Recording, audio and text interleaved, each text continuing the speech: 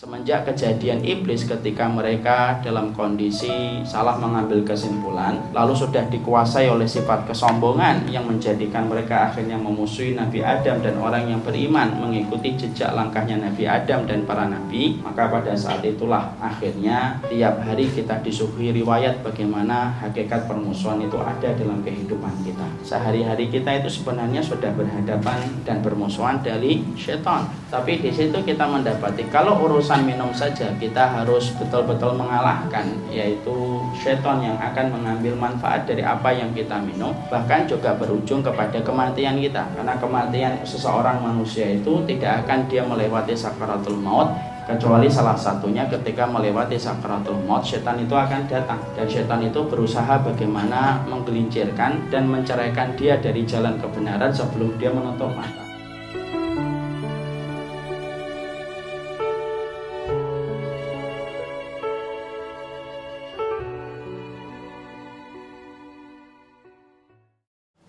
Assalamualaikum warahmatullahi wabarakatuh. Innalhamdulillah wassalatu wassalamu ala Rasulillah wa ala alihi wa sahbihi wa man tabi'ahum bi ihsan ila yaumil qiyamah. Ikhwan-ikhwan yang saya cintai karena Allah, para akhwat yang insyaallah diberkahi oleh Allah Subhanahu wa taala. Alhamdulillah tentunya kita senantiasa bersyukur kepada Allah atas seluruh nikmat yang Allah berikan kepada kita karena sesungguhnya nikmat yang Allah torehkan dan Allah berikan kepada kita seluas samudra yang tidak ada tepinya. Adapun syukur yang kita berikan kepada Allah baru sejengkal tanah. Yang kita risaukan bukan nikmat yang belum kita peroleh dan belum kita dapatkan. Tetapi sesungguhnya yang kita risaukan itu adalah syukur yang belum optimal kita berikan kepada zat yang telah memberikan semua kenikmatan pada kehidupan kita inilah yang menjadikan kita menempa diri kita, menempa jiwa kita untuk senantiasa bersyukur kepada Allah. Dan sesungguhnya syukur itu kalau kita perhatikan secara sederhana, syukur itu terbagi menjadi dua. Ada syukurnya kaum materialistik dan ada pula syukurnya orang yang beriman kepada Allah. Syukurnya kaum materialistik itu adalah mereka yang bersyukur kepada Allah kalau mereka mendapati sandang mereka, papan mereka, dan tangan mereka bertambah lebih baik. Kalau mereka mendapati papannya bertambah luas, pangannya bertambah lezat. Kalau mereka mendapati sandangnya bertambah bagus dengan berbagai macam merek, mungkin Gucci dan Gentong gitu. Kemudian ketika mereka mendapati semua kenikmatan itu bertambah, maka mereka bersyukur. Ini merupakan kesyukuran yang menunggu profit dan margin dari Allah. Kalau ada profitnya, dia bersyukur. Kalau tidak ada profitnya, maka dia tidak pernah bersyukur kepada Allah. Kalau ada orang yang bersyukur semacam ini, siapa pun mereka, maka ini merupakan syukurnya kaum materialistik. Syukur yang meminta syarat margin, syukur yang meminta syarat profit. Ketika tiga perkara dari sandang, papan, dan pangan yang dia miliki bertambah lebih bagus, baru dia bersyukur. Dan orang yang semacam ini adalah naif, karena mereka hitung-hitungan sama Rob yang memberi semua nikmat. Ada syukur yang kedua yaitu syukurnya orang yang beriman. Syukurnya orang beriman itu adalah syukur yang mereka tidak didasari kepada materialistik, kepada profit dan pula kepada margin.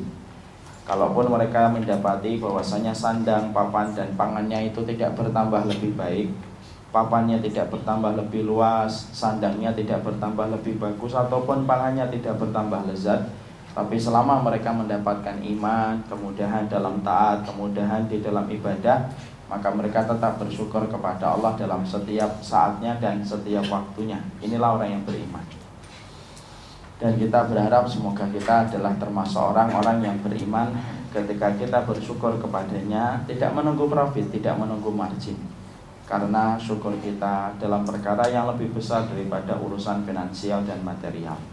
Kepada Allah kita bersyukur, kepadanya kita menggantungkan segala urusan kehidupan kita dan kita berharap semoga Allah tidak pernah meninggalkan kita walaupun sekejap mata. Kepadanya kita bersyukur dan kepadanya kita bersabar dalam urusan kehidupan kita. Ikhwan-ikhwan yang semoga Allah rahmati Alhamdulillah pada kesempatan hari ini kita berjumpa di SKPI kembali Sudah tiga bulan lebih kita tidak berjumpa Kalau tidak salah materi dan tema yang terakhir yang kita bahas adalah ketika cintamu bertepuk sebelah tangan. Mungkin sekarang cintanya sudah tepuk tangan. Dan kemudian pada waktu kajian yang terakhir ini ada mejanya. Ternyata tiga bulan tidak mengaji, mejanya sudah tidak ada ini. Ini jangan-jangan kalau saya tidak ngajar lima bulan, kursinya juga tidak Semoga para panitia diampuni dosa-dosanya oleh Allah. Ini kasihan ustadznya kalau ada kitab harus taruh di mana kitabnya ini. Tapi ini mungkin gaya milenial kalau belajar dan gaya taklim ini mungkin dibuat santai supaya tidak ada sekat di antara kita. Tapi kalau saya sama antum itu ada meja dan tidak ada meja itu memang tidak ada sekat insya Allah. Ngomong apa sih? Kita pada kesempatan hari ini akan menyampaikan sebuah materi yaitu versus apa? Versus syaitan, memusuhi syaitan. Ini akan menjadi pembahasan kita supaya kita mengerti, supaya kita paham. Dalam konsep iman, konsep iman itu tidak hanya melulu membahas tentang ketaatan. Konsep iman itu tidak hanya melulu membahas tentang ibadah. Tapi tentang konsep iman itu juga membicarakan tentang loyalitas dan permusuhan karena itu merupakan bagian yang tidak terpisahkan dalam kehidupan iman kita.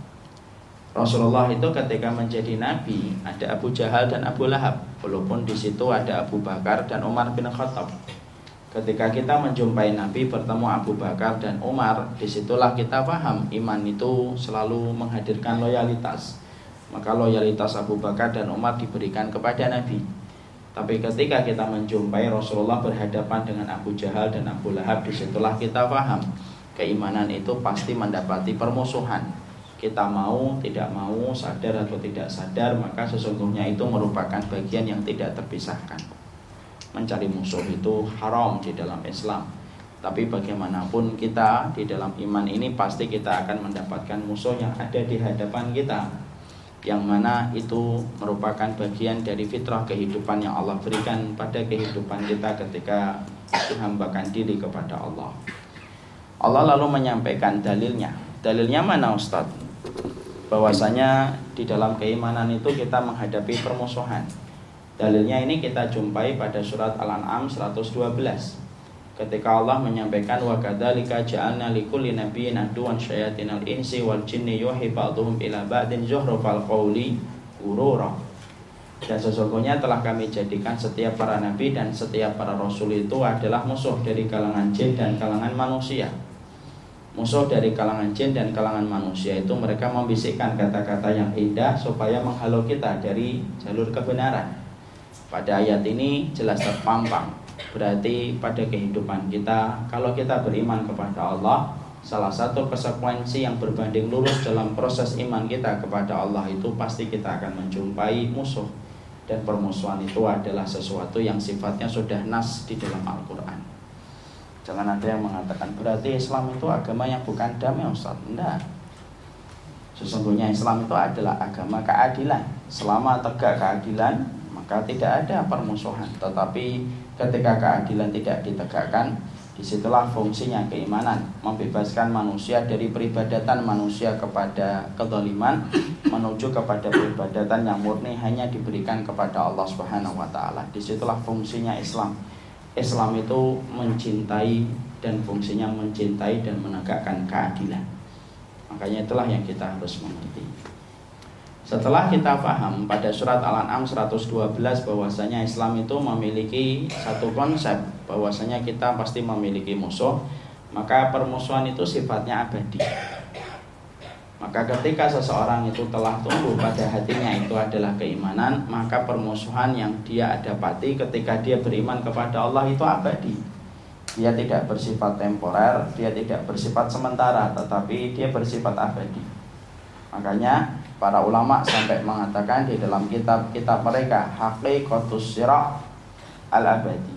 Sesungguhnya ada hakikat permusuhan yang sifatnya abadi, yaitu adalah antara kebenaran yang diwakili oleh para nabi dan para rasul, kemudian ada kebatilan yang diwakili oleh setan dan kalangan wali-walinya setan di antara manusia. Dan itu dan itu ada dan tidak bisa kita nafikan. Makanya kalau kita boleh perhatikan Sesungguhnya dosa pertamanya makhluk itu salah di dalam menentukan kesimpulan. Semenjak saat itulah permusuhan itu terjadi antara manusia dengan setan yang terus menggerogoti kita supaya kita menanggalkan dan supaya kita menceraikan hidup kita dari jalan kebenaran. Antum paham ikhwan? Dosa pertama manusia itu bukan sombong. Dosa pertamanya makhluk itu bukan sombong. Dosa pertamanya makhluk itu adalah mengambil analogi dan kesimpulan yang salah. Yaitu ketika iblis mendapati bahwasanya dirinya diciptakan dari api setan iblis itu mendapati dirinya dari api lalu kemudian manusia diciptakan dari tanah. Lalu iblis itu tidak mau bersujud kepada Adam sehingga akhirnya di situlah tercipta sifat kesombongan. Akhirnya dari salah kesimpulan itulah berujung kepada sebuah permusuhan nyata dimulai semenjak Nabi Adam masih di surga sampai nanti ketika matahari terbit dari arah barat maka semenjak salahnya mengambil kesimpulan iblis itu maka semenjak itu permusuhan itu terus menyala pada kehidupan kita. Makanya iblis itu salah ngambil kesimpulan. Kenapa dia mengatakan khalaqtani min narin wa khalaqtahu min tinin? Engkau ciptakan dia Adam dari tanah dan engkau ciptakan aku dari api. Anak lebih baik daripada Adam. Ini kan salah ternyata bukan api yang lebih baik daripada unsur tanah tapi justru sebaliknya. Unsur tanah itu lebih baik daripada unsur api. Karena sifatnya api menghanguskan sifatnya api menafikan sifatnya api meniadakan. Adapun sifatnya tanah sifatnya tanah itu dia menumbuhkan sifatnya tanah itu mengadakan sifatnya tanah itu membuahkan. Dan itu jelas jauh lebih baik daripada sifatnya api ya belum lagi iblis lupa. Kalau tanah itu semakin lama semakin mahal. Itu kan. Terus gitu. Maka kemudian akhirnya kesalahan analogi yang semacam itu membuat parah. Akhirnya kemudian iblis merasa dia benar dan dia merasa lebih baik. Padahal apa yang dia simpulkan itu salah. Dan semenjak itu permusuhan itu terus ada dan itu merupakan bagian dari konsekuensi logis dari keimanan kita kepada Allah Subhanahu wa taala. Makanya selain surat Al-An'am 112, kita juga menjumpai berbagai macam dalil dan berbagai macam riwayat semenjak kejadian iblis ketika mereka dalam kondisi salah mengambil kesimpulan lalu sudah dikuasai oleh sifat kesombongan yang menjadikan mereka akhirnya memusuhi Nabi Adam dan orang yang beriman mengikuti jejak langkahnya Nabi Adam dan para nabi. Maka pada saat itulah akhirnya tiap hari kita disuguhi riwayat bagaimana hakikat permusuhan itu ada dalam kehidupan kita. Makanya maaf ikhwan antum kalau perhatikan ya sehari-hari kita itu sebenarnya sudah berhadapan dan bermusuhan dari setan dengan iblis kita kalau mau minum, bukankah setan itu kan memperhatikan kita? Kalau kita membaca bismillah, dia tidak bisa mengambil manfaat dari apa yang kita minum. Tapi kalau kita tidak membaca bismillah, maka setan berpesta pora, ikut minum bersama dengan apa yang kita minum. Makanya kalau antum minum, setan itu langsung liatin gitu. Nunggu. Detik-detik apakah antum membaca bismillah ataukah tidak. Antum juga tidak usah memanfaatkan itu tidak ada tapi di situ kita mendapati kalau urusan minum saja kita harus betul-betul mengalahkan yaitu seton yang akan mengambil manfaat dari apa yang kita minum bahkan juga berujung kepada kematian kita. Karena kematian seseorang manusia itu tidak akan dia melewati sakaratul maut kecuali salah satunya ketika melewati sakaratul maut setan itu akan datang jadi antum kalau lihat orang ketika sakratul maut, antum harus paham di situ dia merasakan sakratul maut dan itu merupakan rasa sakit yang tidak pernah dia jumpai seumur hidupnya. Dua, dia melihat para malaikat yang duduk sepanjang mata memandang. Yang ketiga, di situ dia antum harus ngerti dia didatangi setan dan setan itu berusaha bagaimana menggelincirkan dan menceraikan dia dari jalan kebenaran sebelum dia menutup mata. Kenapa? Karena last battle-nya setan dan last battle-nya iblis itu untuk menggoda manusia itu terjadi tepat ketika orang itu sudah berada pada detik-detik akhir kehidupannya di dunia. Makanya kenapa kita kalau mendapati orang itu akan meninggal dunia, kita disuruh talkin supaya salah satu fungsinya meyakinkan orang tersebut bahwasanya tidak ada ilah kecuali adalah Allah. Makanya setan itu akan mendatangi kita dari arah kanan dan dari arah kiri supaya kita murtad dari agama Allah sebelum kita meninggal dunia. Sudah pernah dengar kan kisah nyata bagaimana Imam Ahmad dalam kondisi sakit yang berat maka anaknya bernama Abdullah Abdullah bin Ahmad bin Hambal Abdullah ini ketika mendapati bapaknya berat sempat berprasangka bapaknya dalam kondisi sakratul maut. Lalu ditalkin la ilaha illallah pada saat itu Imam Ahmad justru berkata ketika anaknya mentalkin beliau dia berkata idhab anta idhab anta. Anaknya sempat kaget bagaimana ayah saya ketika saya talkin justru mengusir saya? Kemudian ternyata setelah beberapa saat Imam Ahmad itu siuman Ternyata itu pingsannya karena rasa sakitnya Tapi belum nyampe pada proses sakratul maut.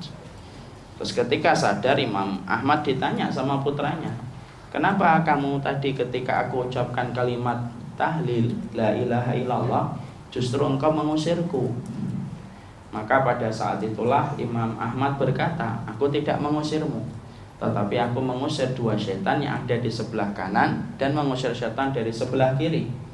Karena dua setan ini kemudian mencekik leherku. Setan sebelah kanan berkata, "Masuklah kamu kepada agama Yahudi."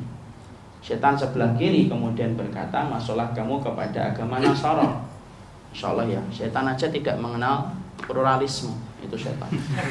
Setan tidak mengatakan semua agama sama.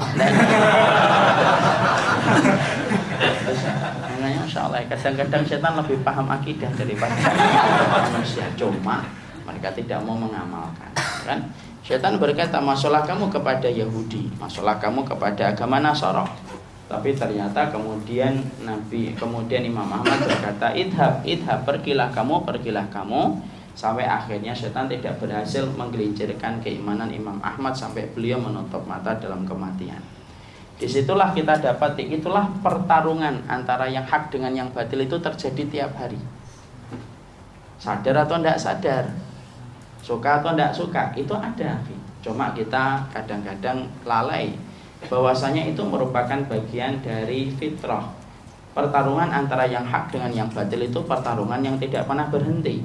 Dan kita hidup kita itu adalah bertarung dengan para penggawa-penggawa kebatilan yang dimotori oleh iblis, dimotori oleh kalangan setan, baik dari kalangan jin dan kalangan manusia.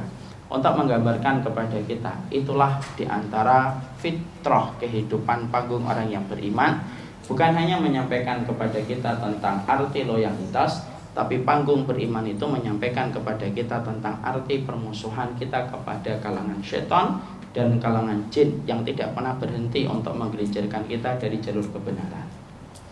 Mungkin ada yang tanya, Ustaz kenapa ya Allah itu mempersiapkan musuh? Pertanyaan ini kalau dijawab sebenarnya simpel dan sederhana. Kalau dijawab, saya kalau boleh menjawab dengan ayat lebih ringkas. Kenapa Allah ciptakan musuh? Jawabannya la yus'alu amma yaf'alu wa hum yus'alun. Allah tidak pernah ditanya tentang apa yang Allah lakukan tetapi justru kitalah yang harusnya ditanya. Jadi kalau antum makan komplain, kenapa sih dijadikan musuh? Hidup damai itu kenapa sih sama setan? Kalau ada yang suka nanya-nanya gitu, jawabannya dari ayat la yus'alu amma yaf'alu wa hum yus'alun. Allah itu tidak pernah ditanya-tanya.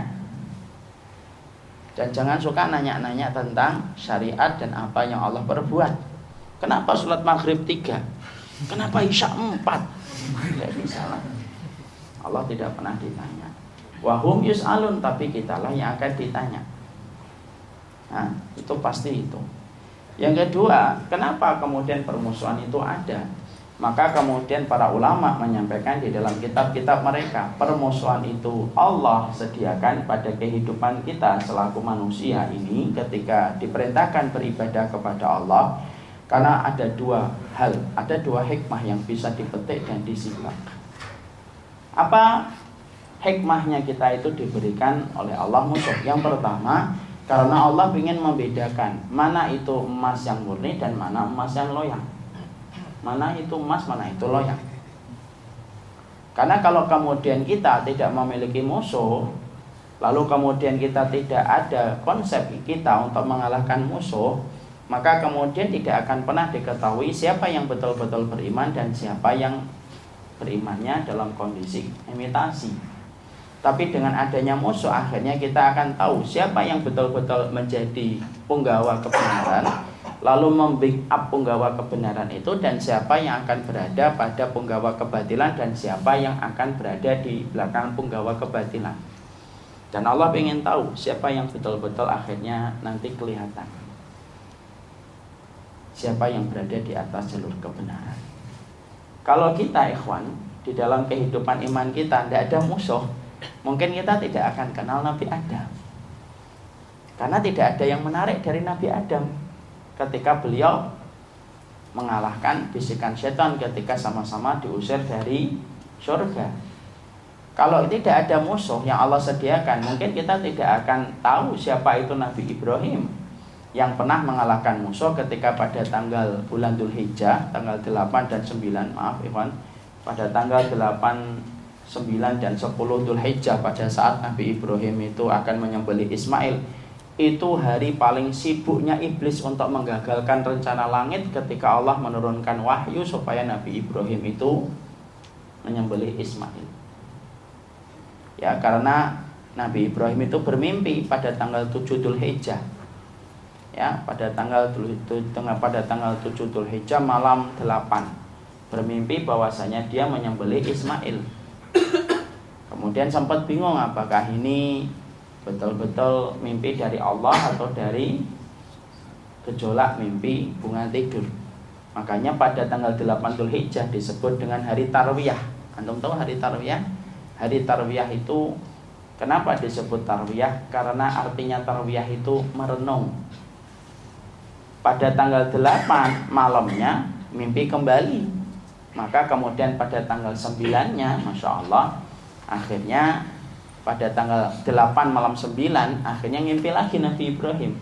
Paginya tanggal 9 itu baru Nabi Ibrahim itu sadar. Wah Oh berarti mimpi itu bukan bunga tidur. Makanya tanggal 9 disebut dengan hari apa?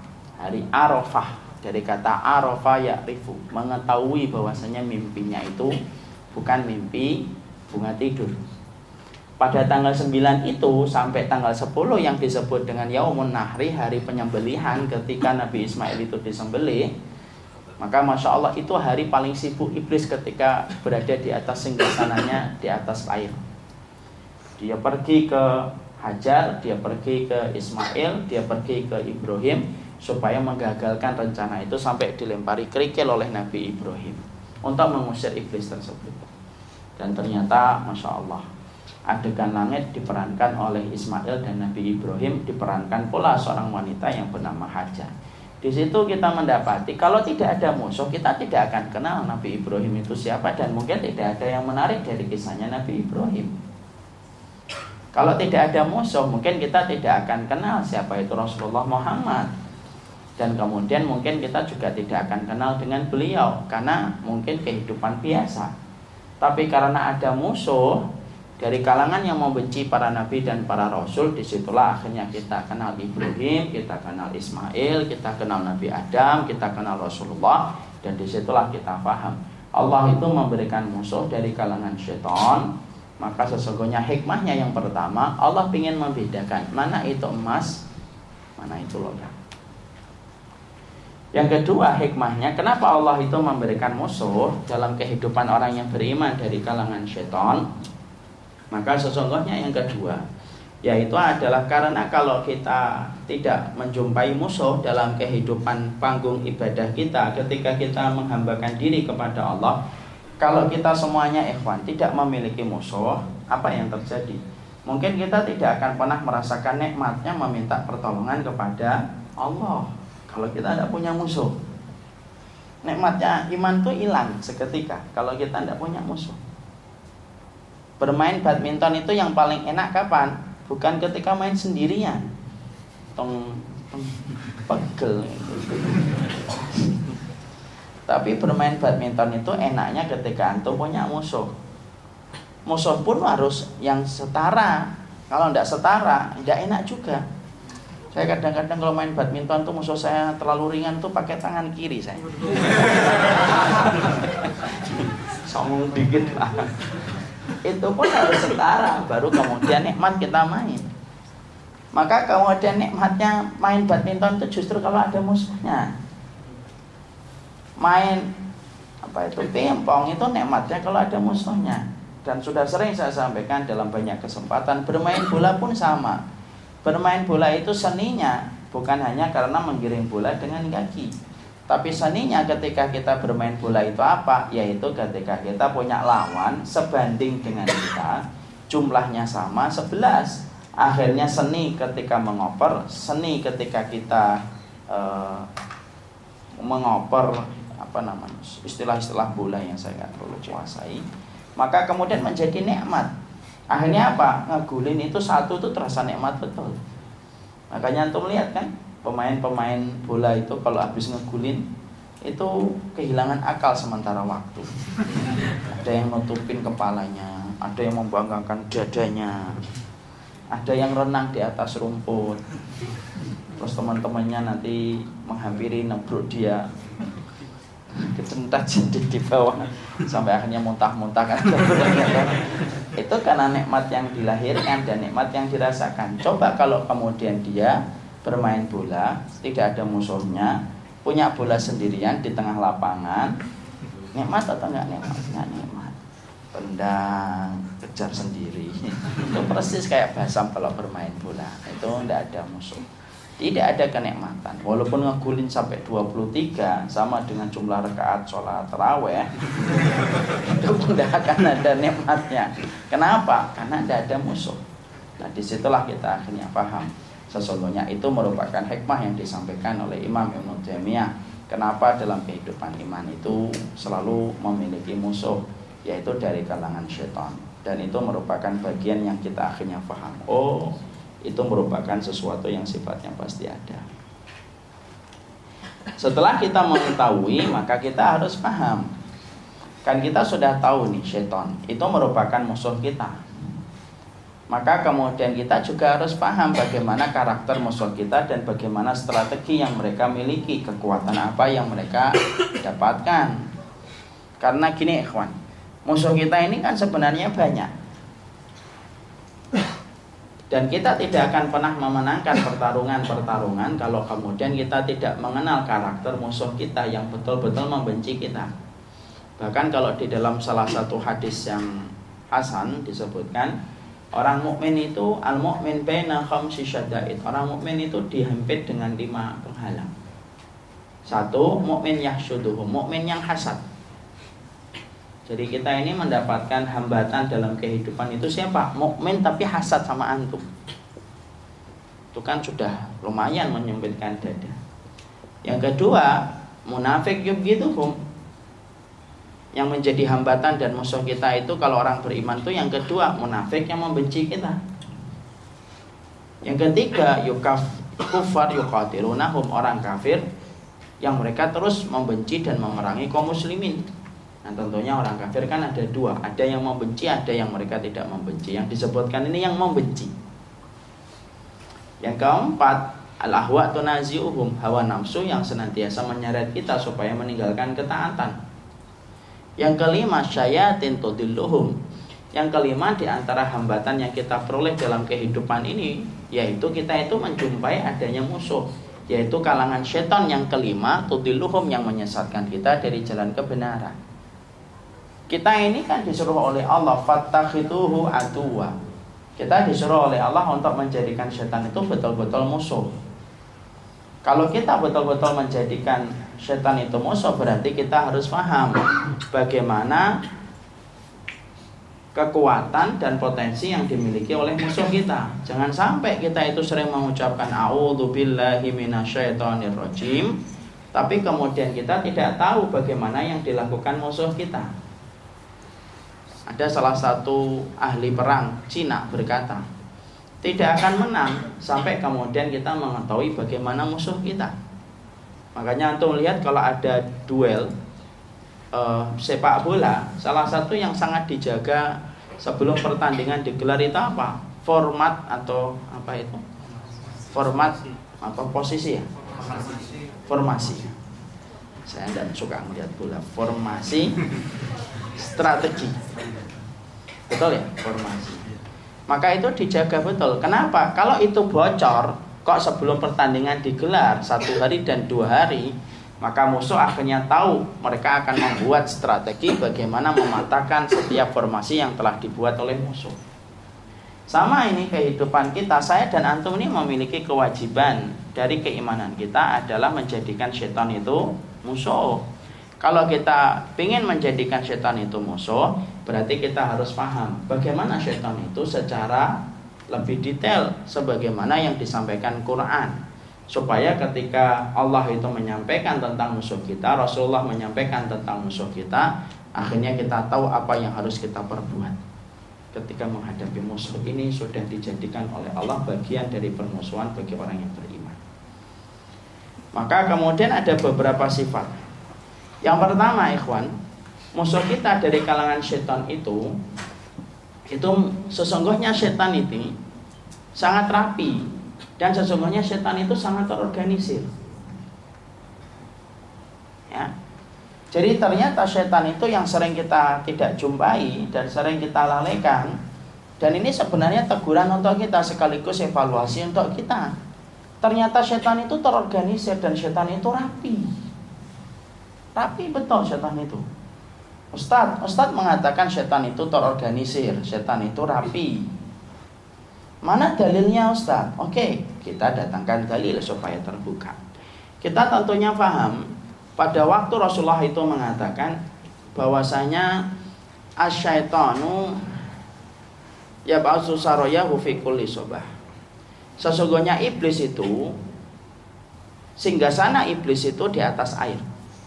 Jadi maaf ya ikhwan, kalau antum sering jumpai kejadian-kejadian aneh itu di atas air, itu merupakan bagian dari keumuman yang pernah disampaikan Nabi. Iblis itu membangun kerajaannya di atas air. Karena ketika Nabi Adam diturunkan, Nabi Adam diturunkan di tanah Gujarat India dalam satu riwayat yang disebutkan Imam Ibnu Katsir. Kalau kita menjumpai Hawa, Hawa itu diturunkan yaitu di bukit e, Jeddah, makanya dinamakan Jeddah. Diambil dari kata Jiddatun artinya nenek.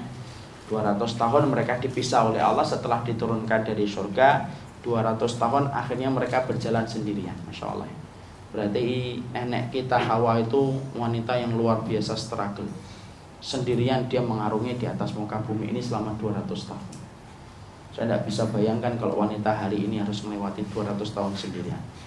Itu apa itu? Ular atau kecoa itu kan kita nggak akan jalan-jalan dia. 200 tahun akhirnya ketemu di bukit yang bernama Bukit Arafah. Itu manusia. Iblis diturunkan di atas air dan dia membangun kerajaannya di atas air. Kemudian Nabi melanjutkan setelah iblis membangun kerajaannya di atas air yang dilakukan iblis itu akhirnya adalah mengutus pasukannya setiap pagi Maaf ya ikhwan, antum harus membedakan antara jin dengan iblis. Jin itu ada yang beriman, ada yang tidak beriman. Itu jin.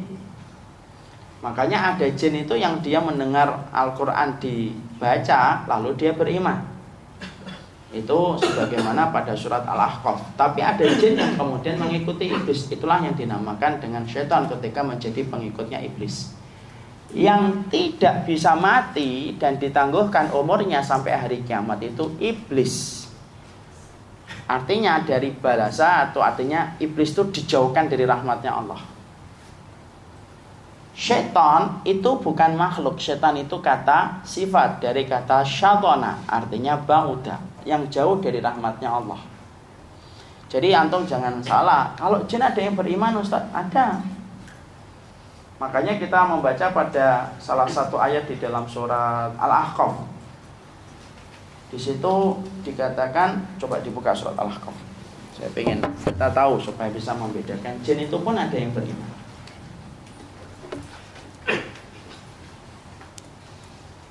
Sudah ketemu?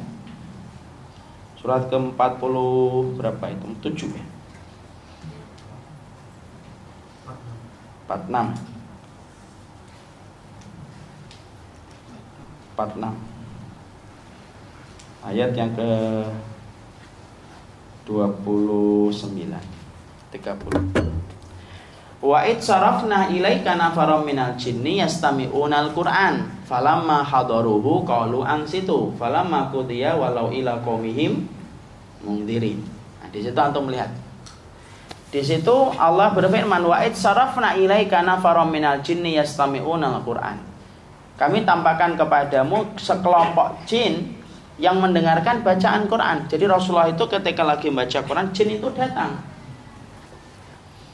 Kemudian Wa sarafna ilaika nafaran minal jinni yastami'una al-Qur'an. Falamma hadaruhu qalu angsitu ketika mereka datang mendengarkan itu mereka berkata angsitu.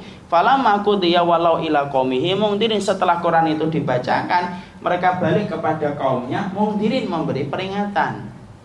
Artinya jin pun ada yang jadi dai, ada yang jadi ustad.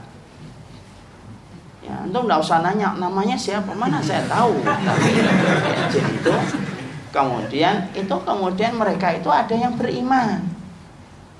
Wa itsarafna ilaika nafaram minal jinni. Itu contohnya. Jadi jin itu ternyata dua, ada yang beriman, ada yang tidak beriman. Yang tidak beriman menjadi pengikutnya iblis. Itulah yang disebut dengan kata syaitan. Maka kata Rasulullah dalam hadis tadi saya lanjutkan untuk menunjukkan betapa rapi dan terorganisirnya mereka. Mereka membangun kerajaannya di atas air dan setiap pagi iblis itu apel. Ini betul. Ia pasu saroyahu fi kulli sobahin Maka sesungguhnya iblis itu menyuruh setiap pasukannya dari kalangan setan yang menjadi pengikutnya untuk menggelincirkan manusia dengan berbagai macam program-program yang akan mereka lakukan. Maka setan lalu berpencar dari kerajaannya iblis tersebut. Mereka berpencar ke seluruh penjuru manusia untuk menggelincirkan manusia. Waktu sore, maka kemudian iblis balik lagi untuk melaporkan apa yang mereka perbuat kepada iblis. Lalu masing-masing mereka menceritakan, saya telah meninggalkan fulan sampai fulan melakukan ini. Saya telah meninggalkan fulan sampai fulan melakukan ini. Semuanya didengar. Sampai pada satu waktu antum tentunya sudah paham di sini sampai kemudian ada satu seton yang memberikan laporan kepada iblis. Aku telah tinggalkan dia sampai dia menceraikan istrinya tanpa ulur yang benar. Maka langsung iblis itu memberikan sebuah reward nikmat syaitanu anta. Sebaik-baik setan itu kamu. Apa yang kita dapatkan? Nggak usah digini-gini kan temannya. Di situ kita menjumpai bahwasanya iblis itu terorganisir, rapi, ikhwan. Apa yang kita dapatkan? Yang kita dapatkan kalau ada seorang mukmin Kemudian dia dalam kehidupan agama ini tidak mau rapi, tidak mau jadi makmum, tidak mau jadi imam, maunya suka-sukanya dia sendiri. Berarti kalah sama mafia. Berarti kalah sama orang-orang yang merorganisir kebatilan. Saya pernah melihat film kisah nyata based on true story. Do you know based on true story? Artinya dari kisah nyata. Ternyata perjuangan salah satu orang ketika membentuk mafia, yaitu mafia Italia, itu luar biasa. Loh itulah yang kita dapatkan. Ternyata sesungguhnya orang, sesungguhnya setan itu ketika iblis itu ketika membangun kerajaannya, kemudian tidak tawakal. Udahlah biarin aja manusia, biar mereka nanti digerogoti sama hawa nafsunya. Nanti kalau kemudian mereka mau juga akan jadi pengikut kita sendiri. Enggak gitu. Konsepnya mereka itu konsep yang mereka paham betul bahwasanya mereka itu telah menempatkan manusia itu menjadi musuh. Dan itu terorganisir. Mereka kemudian ada yang diperintah setiap paginya diperintahkan pergi, sorenya kemudian pulang melaporkan apa yang mereka perbuat, mereka evaluasi terus. Dan setan itu memiliki sifat kesabaran. Sabarnya untuk melaksanakan program-program besarnya iblis. Dan itu bahasanya sudah lumrah disampaikan Rasul. Makanya iblis itu kalau sudah mendapati manusia itu mentok, dia yang turun tangan. Mana dalil mana dalilnya Ustaz? Itu ketika Ibrahim. Itu setan-setan yang kecil-kecil krocok-krocok tidak bisa ngadepi Nabi Ibrahim. Maka yang turun iblis langsung. Makanya sampai Imam Ibnu Katsir itu berkata, Hari paling sibuk semenjak iblis membangun kerajaannya di atas air itu tanggal 8, 9, 10 Dhul Hijjah. Sampai terjadinya syariat penyembelihan Ismail yang kemudian menjadi syariat pengorbanan kita. Antum lihat ketika dulu apa orang musyrik kebingungan gimana membunuh Nabi Muhammad. Mereka kan bingung kan? Karena mereka bingung. Ini kalau kita Muhammad ini kok ini luar biasa Muhammad ini apa-apain sudah tidak bisa ditawari harta tidak mempan, ditawari perempuan tidak bisa, ditawari kekuasaan tidak bisa. Mau membunuh mereka khawatir kabilahnya Muhammad nanti balas dendam. Ketika mereka bingung terus gimana? Ternyata semua cara, semua metode sudah tidak bisa perhatikan. Iblis kemudian datang kepada pertemuan dari kabilah-kabilah itu ketika mereka masih mentok gimana sih akan melaksanakan bagaimana membunuh Muhammad SAW ada orang tua lalu berkata kepada pertemuan itu di antara semua kabilah yang ada kalau ingin membunuh Muhammad jangan satu orang. Nanti kabilah dari yang membunuh Muhammad pasti akan diperangi oleh kabilahnya Muhammad. Maaf ya ikhwan. Semangat kesukuan pada zaman itu sangatlah besar. Walaupun suku dan kabilahnya Rasulullah belum beriman secara mayoritas tapi kalau sudah ada anggota kabilah mereka dibunuh, maka semangat kesukuan mereka itu akan meletup-meletup dan mereka akan menuntut hak darah. Kalau kemudian suku dan kabilah mereka ada yang dibunuh. Itulah semangat kesukuan dan kabilah pada zaman Rasulullah. Tahu antum ada orang tua berkata, begini caranya. Semua ini kabilah-kabilah ini ngirimkan pasukan, ngirimkan satu pemuda yang paling gagah, paling pinter, dan paling piawai ketika memiliki seni di dalam berperang. Sepuluh. Nanti ketika bunuh Muhammad, darahnya Muhammad dioleskan ke setiap darahnya utusan dari kabilah-kabilah itu. Nanti kalau kabilahnya Muhammad menuntut balas dendam, maka yang maju sepuluh orang ini, kamilah yang yang membunuh Muhammad dengan memperlihatkan darahnya Muhammad. Siapa itu? Iblis. Dia turun tangan. Makanya sampai kemudian para ulama berkata setan itu terus ada. Dan setan itu bisa menyerupai manusia. Sebagaimana setan itu bisa menyerupai wajah-wajah orang yang mati, kemudian dia serupai wajahnya supaya menimbulkan ketakutan kepada manusia. Kenapa? Ketakutan itu modal pertama terjadinya kesyirikan. Ada orang mati bunuh diri, malamnya ada suara ketawa itu padahal adalah setan ya, dan setan bisa menyerupai apa saja tapi jangan kemudian antum tebak-tebak. Antum setan enggak gitu itu juga enggak. Di situ kita akhirnya paham. Berarti menjadi mukmin itu yang diperintahkan menjadi mukmin itu apa? Yaitu adalah sebagaimana kalbunnya nim marsus. Kenapa Allah itu terangkan pada surat Asaf kita ini diperintahkan sebagaimana bangunan yang kuat dan rapi? Karena kita akan menghadapi kekuatan setan yang sudah begitu rapi. Setan rapi ya gitu ikhwan. Lalu kemudian kita mau gitu berislam kemudian kita maunya sendiri-sendiri gitu, nikmatin gitu, euforia kita dalam ibadah tok gitu. Lalu kemudian kita tidak mengetahui apa yang harus kita lakukan ketika kita harus rapi dalam soft bareng-bareng ketika kita ingin memenangkan agama Allah gitu. Berarti selama ini kita tidak baca hadis. Ya kan? Karena sekarang ada satu fenomena. Apa fenomenanya? Menikmati ketaatan untuk pribadinya sendiri. Dan merasa itu sudah bagus. Terus gimana kita akan mengalahkan setan? Padahal setan dalam kondisi yang luar biasa mereka rapi betul itu. Dan itu betul-betul disampaikan oleh Rasulullah SAW. Makanya akhirnya di sinilah kita paham. Kita ini sebagai orang beriman belajar untuk saling bertemu, membicarakan tentang apa yang menjadi kewajiban kita, saling mengerti bagaimana mengerti sikap dan posisi kita harus ikut kepada arahan kemudian para ulama harus ngikutin arahan orang yang berilmu bukan maunya kita. Nggak gitu cara kita beragama. Karena di situlah kita akhirnya paham.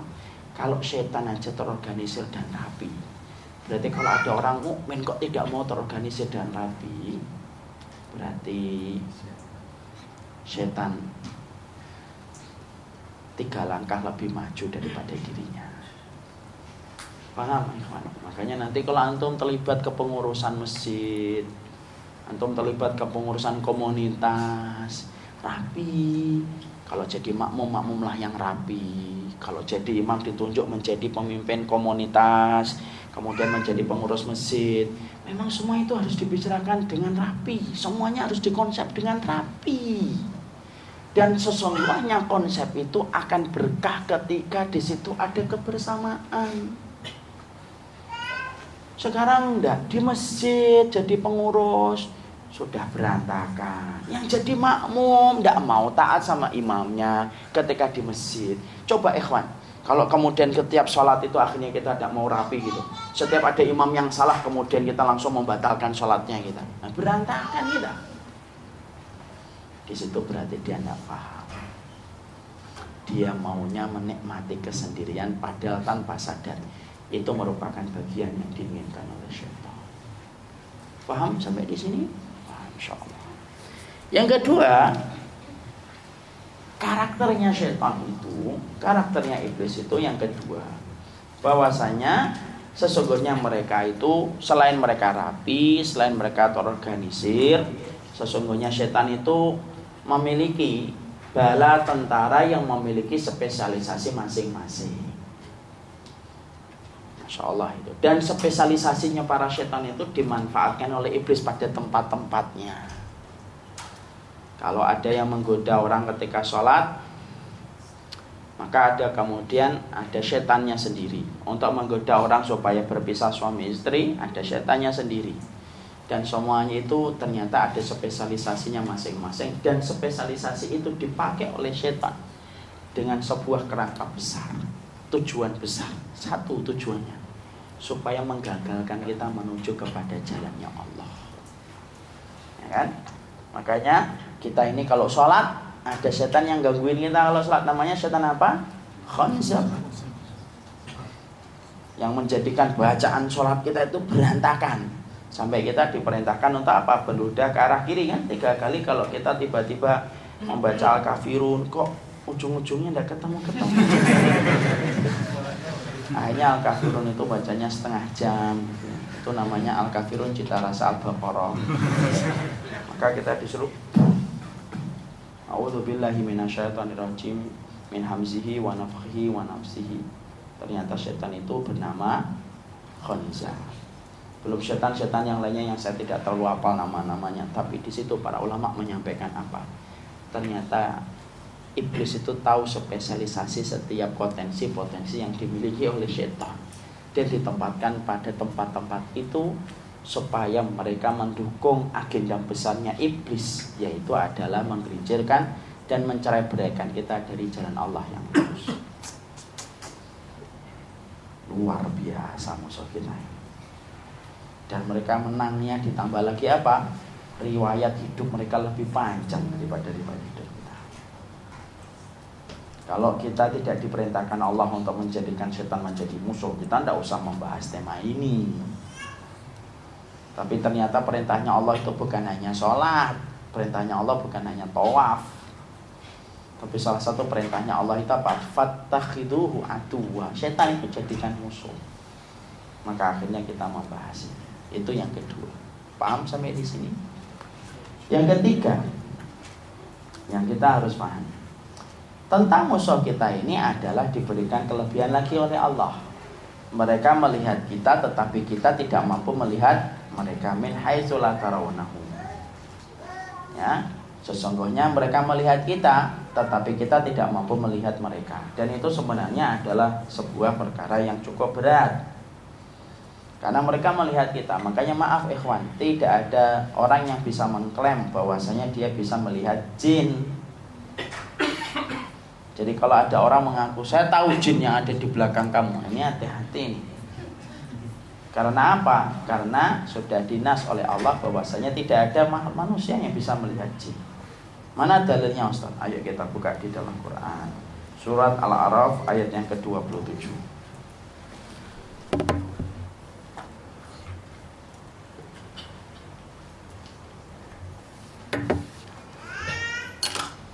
Ada yang ketemu? Supaya yang sudah ketemu dibaca.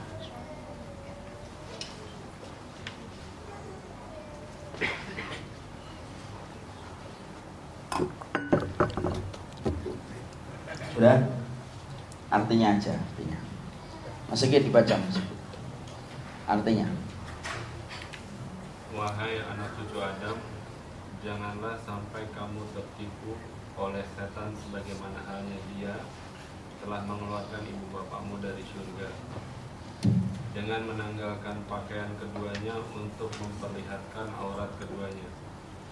Ini maaf saya mau melanjutkan Sebagian para ahli tafsir itu mengatakan ketika Allah itu menanggalkan pakaiannya Nabi Adam dan Syed, nah, Adam dan Hawa sampai terlihat auratnya itu merupakan bagian dari tipuannya setan ketika berhasil memperdaya mereka.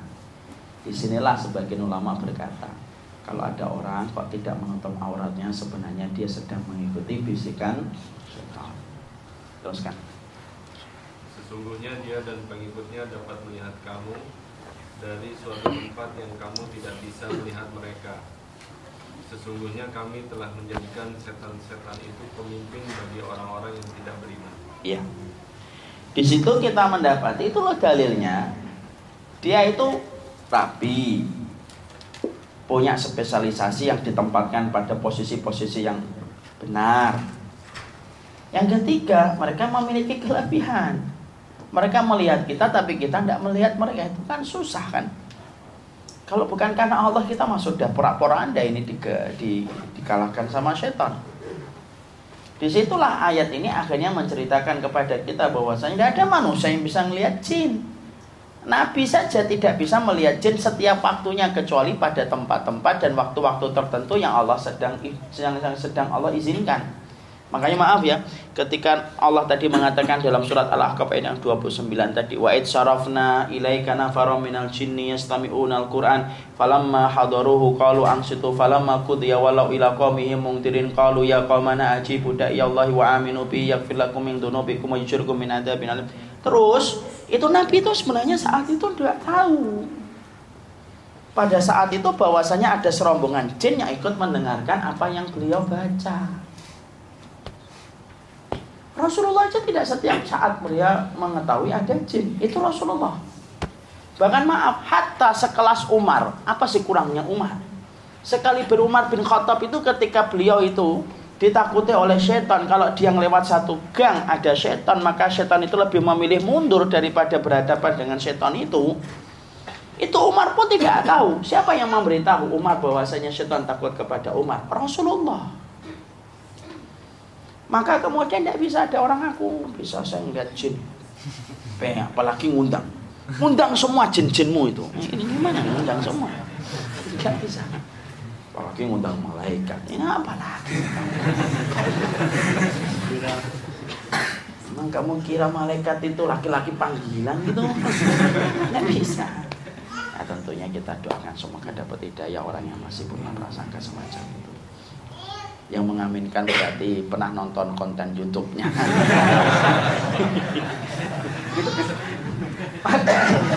maka tidak ada itu. Makanya saya ingat betul nih, sekarang agak keluar dari tema sedikit ya. Ustadz saya punya teman katanya Indugo bisa melihat jin. Saya tidak ngerti ya secara pasti, tapi yang saya tahu bahwasanya kalau ada orang bisa melihat jin itu berarti ada jin di dalam tubuhnya, sadar atau tidak sadar. kan beliau aja paham ya ya ya makanya kemudian ada salah satu ustadz yang beliau dulu sering merukyah. Namanya cukup terkenal dulu di televisi ketika merukyah itu. Sempat ngomong sama saya saya dulunya itu indigo Ustaz, kata beliau. Oh gitu ya? Iya. Saya tuh kalau main bola di lapangan SMP saya tidak pernah mau di tengah. Saya selalu menjadi gelandang kanan atau gelandang kiri. Kalau saya ya gelandangan, beliau gelandang ini. Kenapa? Karena saya tidak mau mengejar bola di tengah. Kenapa? Di tengah itu ada makhluk besar yang mengerikan yang membuat saya tidak pernah bisa mau tengah. Itu beliau sendiri.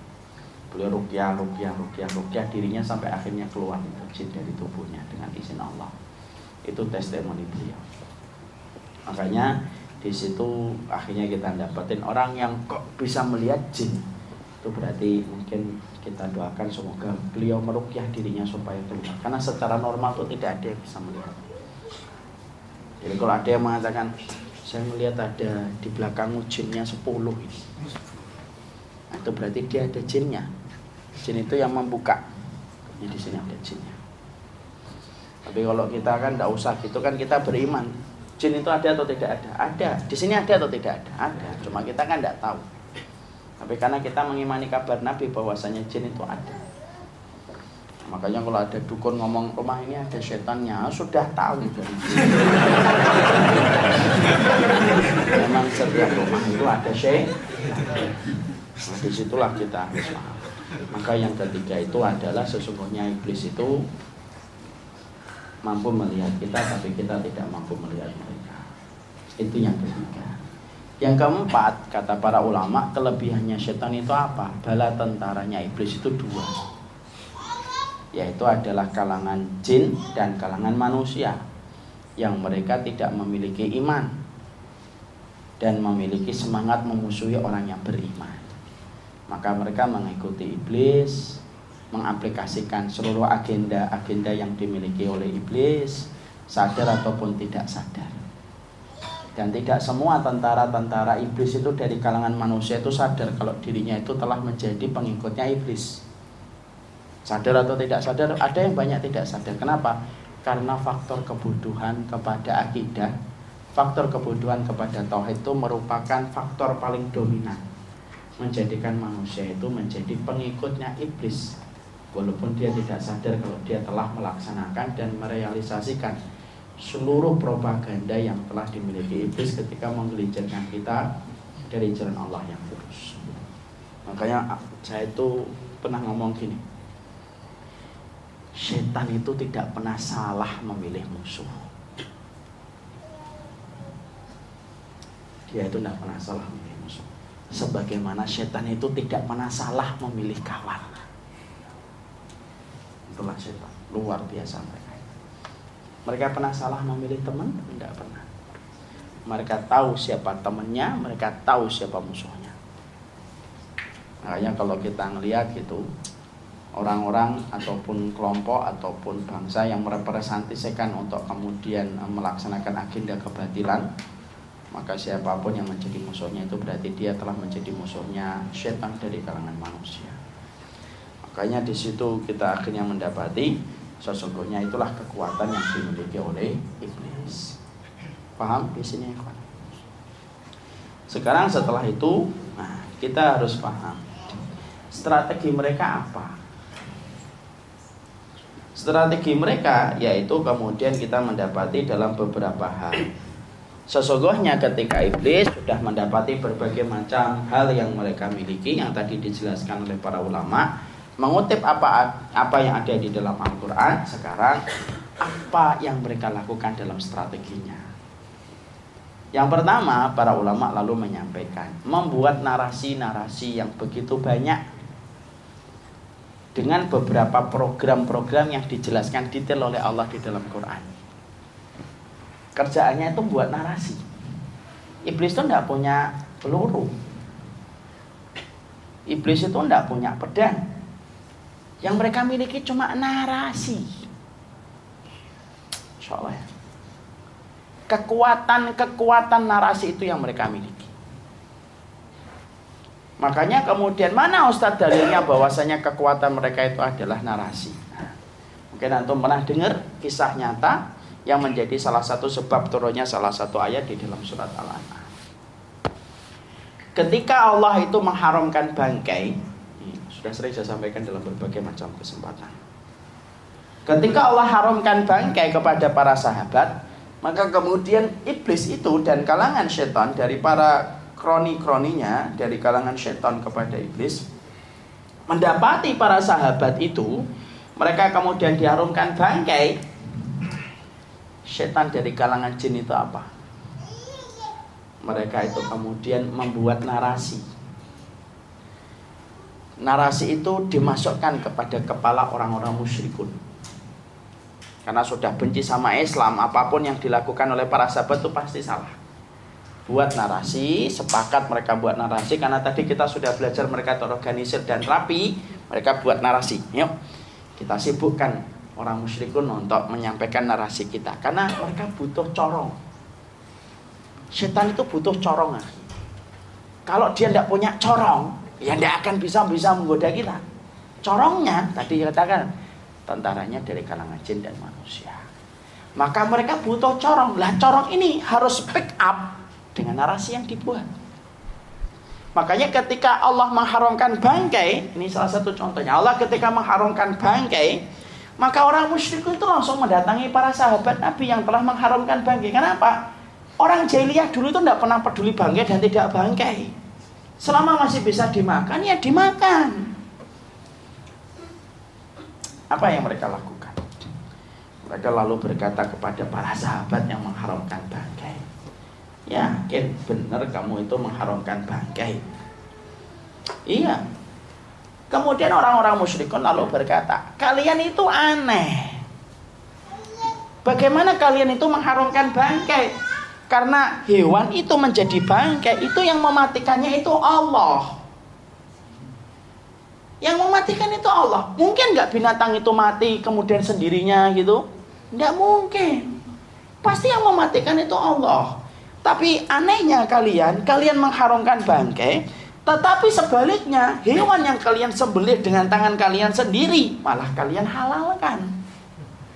Loh semenjak kapan tangan kalian lebih suci dari perbuatannya Allah?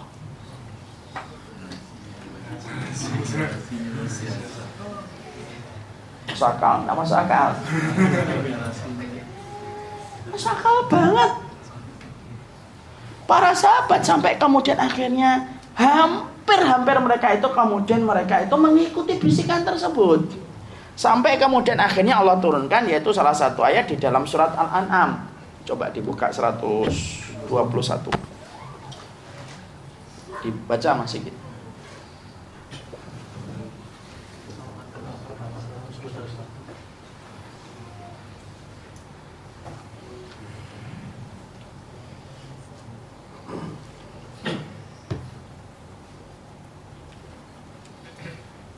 Udah ketemu? Baca.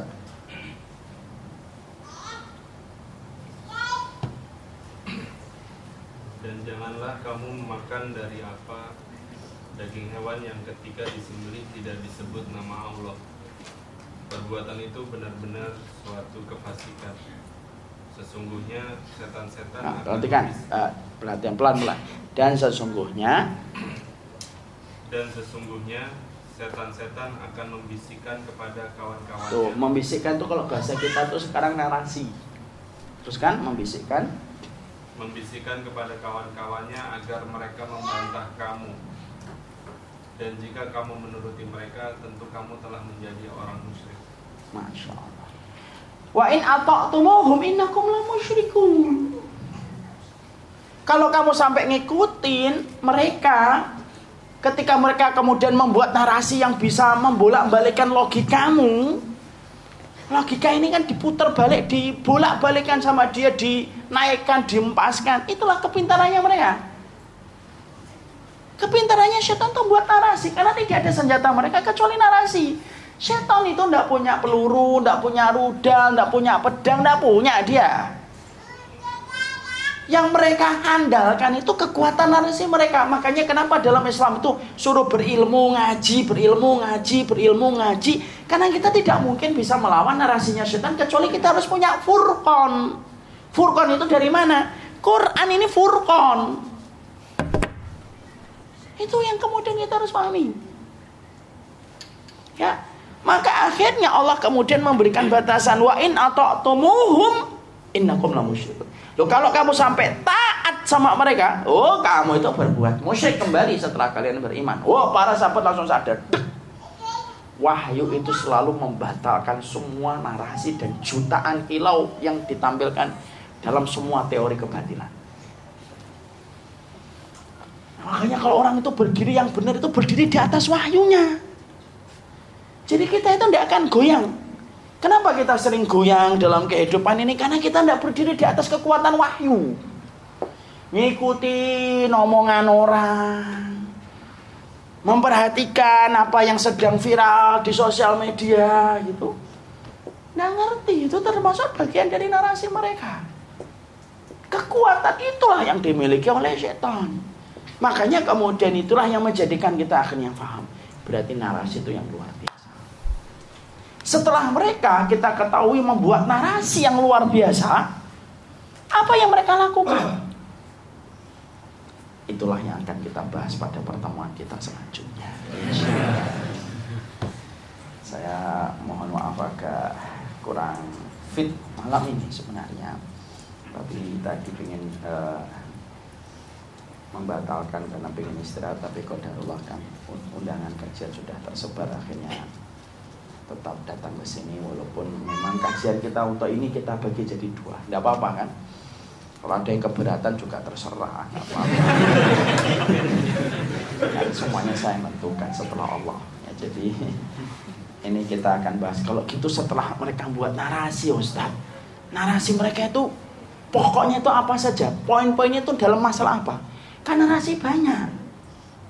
Narasinya setan itu diceritakan detail di dalam Quran. Satu untuk ini, narasi yang kedua untuk ini, narasi yang ketiga untuk ini, narasi yang keempat untuk ini.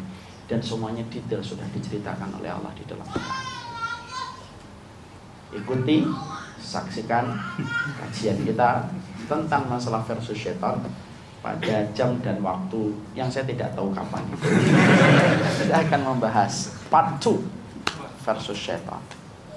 Judulnya tumben bahasa Inggris karena saya bisanya cuma itu doang. Jadi semoga Allah memberikan kepada kita keberkahan. Di nah, kesimpulannya apa, ikhwan? Konsekuensi iman itu bukan hanya melahirkan loyalitas tetapi melahirkan permusuhan dari kalangan syaitan dan kalangan jin. Kalangan maaf kalangan syaitan dan iblis. Dan ternyata ketika kita mendapati iblis itu Masya Allah Iblis itu ternyata luar biasa. Dia rapi, terorganisir Memiliki spesialisasi luar biasa Dan ditempatkan sesuai dengan spesialisasi itu. Makanya kalau antum punya kelebihan Dipanggil orang Ayo mantu sini, kok antum tidak mau? Berarti kalah sama khonzab Khonzab itu ditaruh sama iblis. Sana, gangguin orang sholat. Siap, pergi dan gangguin orang sholat. Tidak pernah konjab itu gangguin orang di pasar. Kenapa? Spesialisasinya bukan di situ. Taatnya luar biasa. Ada orang sekarang itu maunya kalau berislam itu semau maunya dia. Gimana ini? Gak bisa kayak gitu. Allah alam bisawab. Ini yang dapat saya sampaikan dan tidak usah kita buka pertanyaan. Kenapa? Karena materinya belum selesai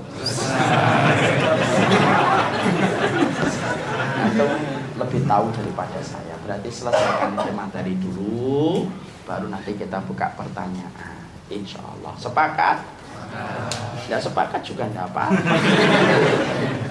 Tapi ya terserah saya. Barakallahu fikum saya mencintai antum semuanya karena Allah semoga kita selalu diberikan petunjuk dan semoga kita tidak pernah kehilangan hidayah untuk mencintai orang yang beriman. Yang kita khawatirkan kalau kita bareng-bareng itu bukan hanya permusuhan yang kita khawatirkan. Tapi yang kita khawatirkan kalau sudah bareng-bareng itu apa? Kita sudah tidak ada hidayah untuk mencintai orang yang beriman. Persis kayak doa. Umar bin Khattab itu berkata, Ya aku khawatirkan kalau berdoa itu bukan tidak dikabulkan. Tapi yang aku khawatirkan itu apa? Aku tidak lagi diberikan hidayah untuk berdoa. Sama itu. Kalau boleh saya mengutip perkataan beliau, yang saya khawatirkan bukan permusuhan saja. Tapi yang saya khawatirkan kalau kita sudah tidak dapat hidayah untuk mencintai orang yang beriman. Berarti parah itu hatinya kalau sukanya nyari musuh di antara orang yang beriman. Barakallahu fikum subhanakallahumma wa bihamdika asyhadu an la ilaha illa anta astaghfiruka wa atubu ilaika. Assalamualaikum warahmatullahi wabarakatuh. Assalamualaikum Bersama saling sapa TV